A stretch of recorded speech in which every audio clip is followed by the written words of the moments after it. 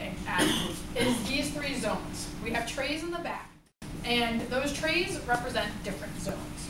How do you think you could tell a zone just by looking at the animals in your tray or looking at your tray? Like, what are some indicators that would, that would help you out? Um, well, I didn't really reach, um, I like little position, like on the water and look like the animals. Mm-hmm. I used to see like crabs. Sometimes like crabs, like crabs. Like, Okay, so so maybe whatever zone you have is dependent upon your animals. Maybe if you're hanging around down here, maybe you're only seeing sea stars and you haven't seen any periwinkles or you haven't seen any hermit crabs. Um, so maybe certain animals live in certain zones. But I've had enough of being picked up.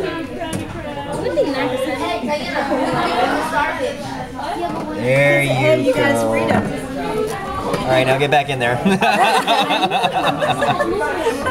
I don't want him to eat anybody. Yeah, I was today. I today. Actually, once you get the hang of it, it's not too bad. Oh, Because your hand, be- if you hold it like that, and then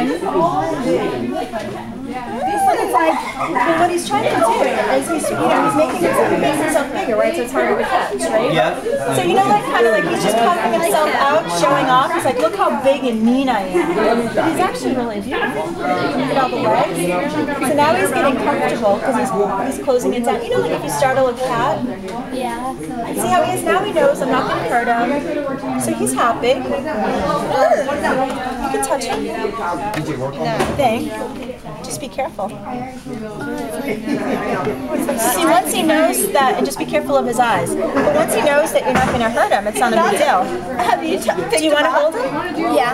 Okay. So hold him. Now remember, not from the front. You want to do it from the side, and just nice and slow, so that he don't go really fast, so he knows that you're coming to get him. So you want to go from there?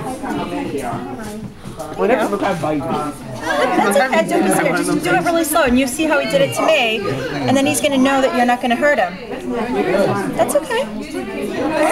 Like, yep, just do it nice and slow, and then he'll. You saw how he got comfortable in my hands. Just see how I'm doing this. He's to put his arms out. He's to act really mean. But now he's going to get comfortable. He's going to know I'm not going to hurt him. Say hi. And he'll close up. Look at. See how now he's nice and comfy? There he is. So try that. So you, you know what he's going to do to you. He's going to open up. And as long, when he figures out that you're not going to be mean, so do that.